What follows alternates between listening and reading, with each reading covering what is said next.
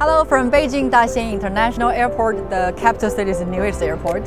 On Tuesday, a flight to Hong Kong took off from here as the airport resumed its operation of international passenger flights after China optimized its COVID policies.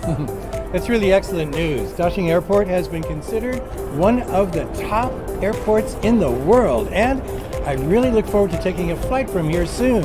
You know, after three years, it's nice to see a lot of activity here again.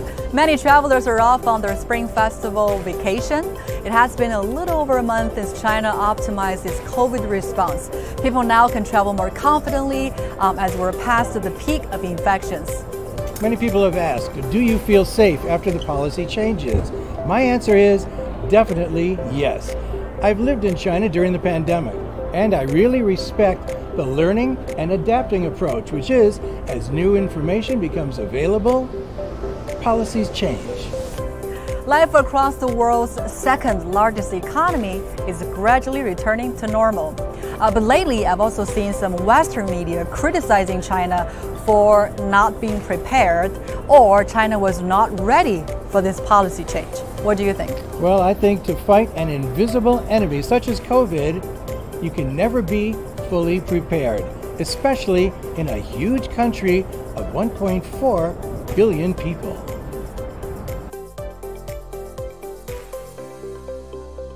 In some international media and certainly in some capitals, there's always the desire to try to find some means for criticizing China and even demonizing China. And of course, the pandemic and has been politicized from the start, uh, above all by the White House. In short, it's really just picking on China, trying to find another point of leverage in the narrative. I'm not a scientist. I'm not a virologist.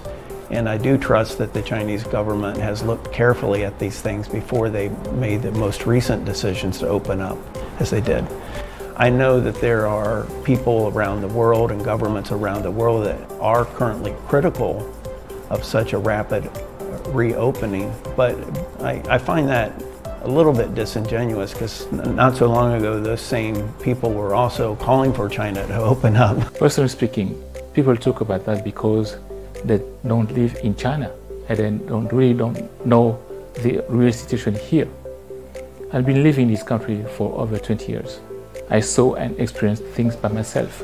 Effort has been being made all on the front, and China has been kept casualty rates and severe cases at a lower level.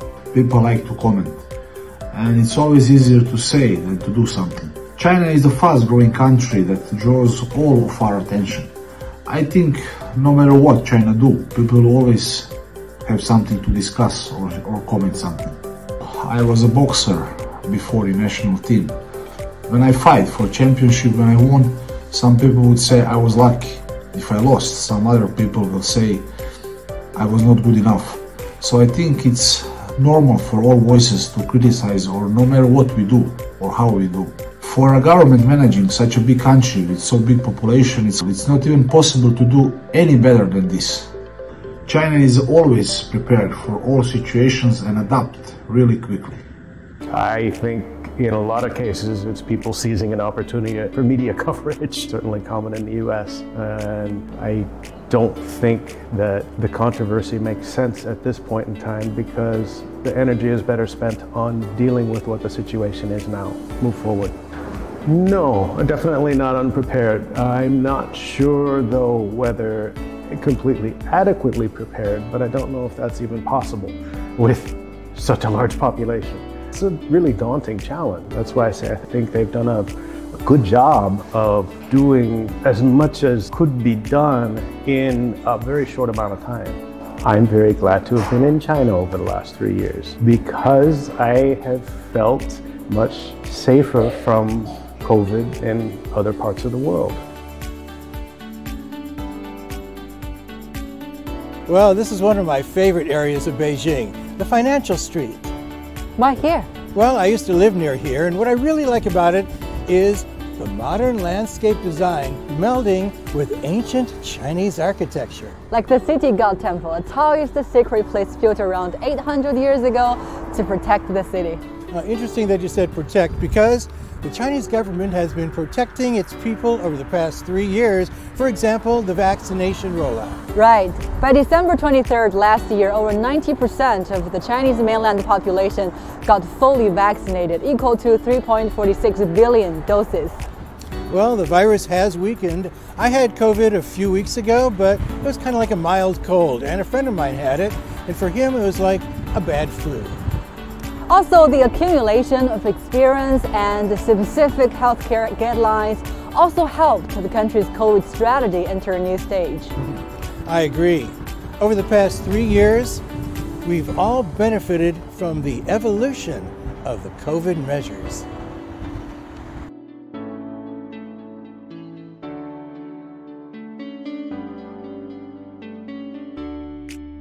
China has been preparing for the reopening the country the last three years. Three years ago, the virus was unknown to anyone, but China made some research and shared information with other countries. Now China has extensive epidemic prevention uh, experience on, on, on the issue. Besides that, China vaccination level has been on the rise, and the adjustments on the situation has been made based on scientific evaluation and evolving the situation in the country. Well, we know that there were a lot of preparations made. We know that uh, China, of course, developed vaccines. We know that they had uh, done a pretty good job getting vaccines uh, disseminated. Uh, there was uh, fairly good uptake rates. Um, we know that uh, China had prepared hospitals and expanded access. they expanded local hospital capacity to deal with um, surges. Uh, of course, you know, given uh, a population uh, the size of China, and, and in some cases, uh, the incredible density, for example, here in Shanghai, where we have 26 million people, um, there's always going to be uh, the, the, challenge that a surge would present to a hospital. Sure, I agree. As a doctor, I know how the important the medicine and medical beds are fighting against the virus. China has coordinated medical resources to increase capacity of hospitals and supply more equipment and medication for the treatment of severe cases. Government, doctors, nurses, volunteers, and every single citizen are doing their part and contribution to ensure the victory over the battles against the virus. During the pandemic, sure, it wasn't always comfortable. Sometimes it was really frustrating. Yes, we haven't traveled. It's okay. We managed to not get sick for three years. We had a very elderly, fragile person in our house, and if the disease got brought home to my mother, it probably would have killed her. So I'm glad that it was managed the way it has been managed. Uh, we know that there was a lot done. We did see within two weeks um, uh, within a one week period, but also within a two week period, uh, the government responding with uh, uh protocols by increasing uh, drug production, uh, ensuring that people had uh, the right advice, the right guidance, and the right supplies to move forward. And as a result, I think we've seen already a considerable amount of stabilization in the last few weeks. I think that that's something that is sort of unique to China to be able to move mountains, so to speak, and create factories and industries to support preparing for and dealing with the epidemic. It's really pretty impressive. The facilities that were built amazingly quickly, I don't know where else you can do that except in China. Factories don't get built overnight. It takes time, it takes planning, it takes lots of people to build the equipment to make that happen. It absolutely represents emergency preparedness. I think when we when we step back from COVID, a few years away from it, I think one of the things that we, we're going to have to uh, come to terms with is the incredible job China, uh, China did with COVID. Uh, but by and large, I think uh, almost at almost every step of the way, from the initial outbreak to the end, uh, China has been an innovator and a, a global leader in, in, in figuring out how to deal with this type of problem.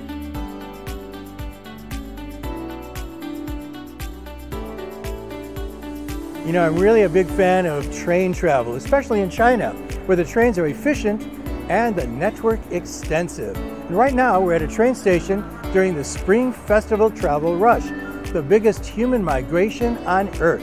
2.1 billion passenger trips are expected to be taken during this period.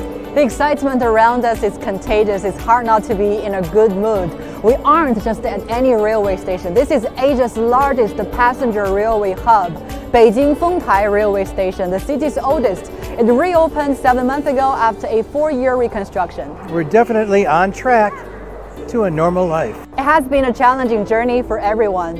Mm, that's for sure. But normality is not the end, it is a new beginning. Because the optimization of China's COVID responses does not mean letting go of the virus. It means the focus has been shifted to ensuring resources are allocated to where they're most needed. China now has a more robust medical treatment capacity, better governance at the grassroots level, and a greater social tolerance. I think more importantly, people are calmer and more confident in dealing with the virus. We want to wish everybody safe travels home.